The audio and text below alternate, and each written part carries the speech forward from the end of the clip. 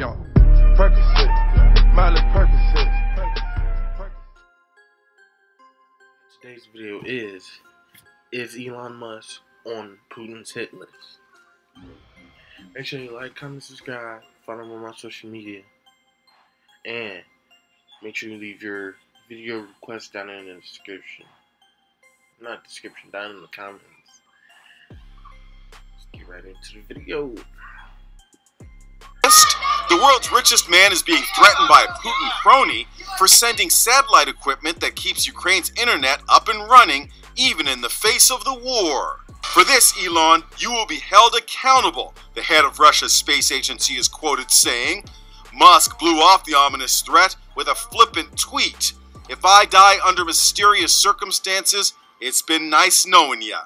But his mom, white haired supermodel Mae Musk, didn't appreciate his attempt at humor. That's not funny, she tweeted.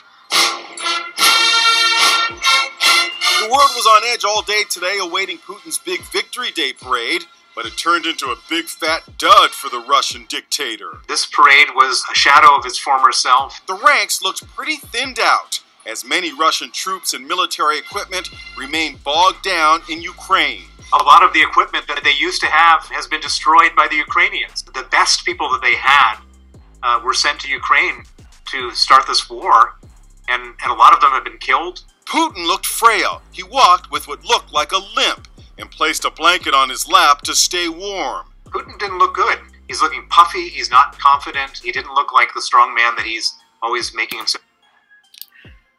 See, this is why you never get in the middle of something that doesn't involve you. People ain't gonna like when you you you getting in a business and and doing something for people. You know? But but oh well, it's like it's not cool what y'all did, so you know people obviously gonna help and get them stuff so they can be ahead and beat your ass, you know? And of course he down because he fucking losing. Getting his ass handed to him. For real. Out to be.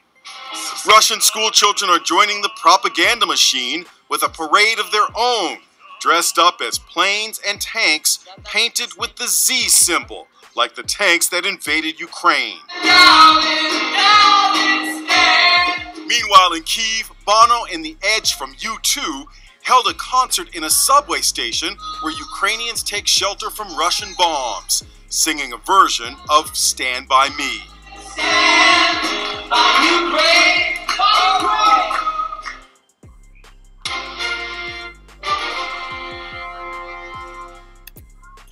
Alright, that was the end of the video. Make sure you like, comment, subscribe, follow me on social media. Leave your video requests down in the comments below. Now, Putin acting like he's so bad. Elon's just trying to help some people that need help. And now Putin is threatening somebody else's life because he helping somebody else. Which, for one, I wouldn't give a damn if I was on somebody hit list for helping somebody. I wouldn't give a damn. Because you obviously can't do it right in the first place. So I ain't going to worry about your little terrorist attack, whatever the fuck you want to call it. I wouldn't fucking worry about it. But you limping and all that dumbass extra shit, nigga. You you losing and it's showing you don't know what the fuck to do.